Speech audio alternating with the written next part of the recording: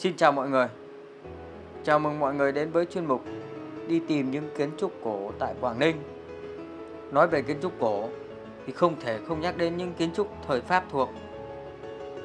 Những kiến trúc có phong cách đơn giản Mà tinh tế của người Pháp. Việt Nam từng là thuộc địa của thực dân Pháp. Vào những năm đầu, Pháp truyền đạo công giáo sang Việt Nam kéo theo đó những công trình nhà thờ được xây dựng hiện nay tại Yên Trì hay là Hiệp Hòa thị xã Quảng Yên, tỉnh Quảng Ninh. Còn hai công trình đó là nhà thờ giáo họ xóm 3 và xóm 4 vẫn còn giữ được nguyên nét cổ kính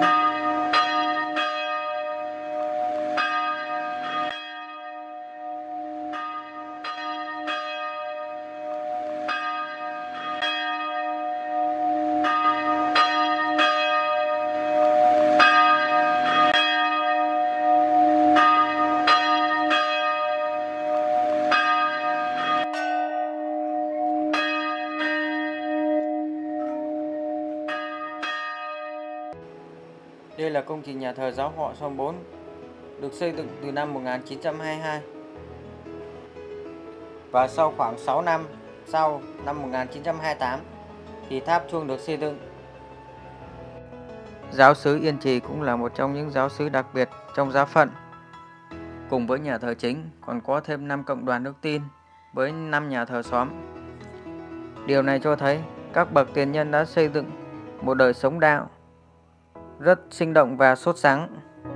Đức cha kêu gọi công đoàn cùng tạ ơn Chúa và cầu nguyện cho mỗi người dân nên chỉ biết sống và luôn biết phát huy truyền thống giàu đạo đức của dân tộc.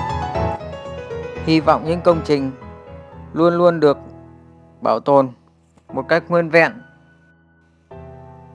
Các công trình nhà thờ được xây dựng theo một kiến trúc vô thích với những hình mái vòm các cửa sổ thì vuông vắn và vuốt cao. Tháp chuông này không giống những ngôi nhà thờ khác và nó được xây dựng tách riêng ra khỏi xung quanh công trình cho thấy một sự cũ kỹ, lâu đời với rêu mốc, nhưng toát lên vẻ bí hiểm, cũng như cái cổ điển của công trình càng nhìn ta càng thấy thân thuộc. Những công trình luôn gắn bó với đời sống của người dân, xứ đạo Viên Trì cũng là nơi tụ họp những thánh lễ để tạ ơn Chúa.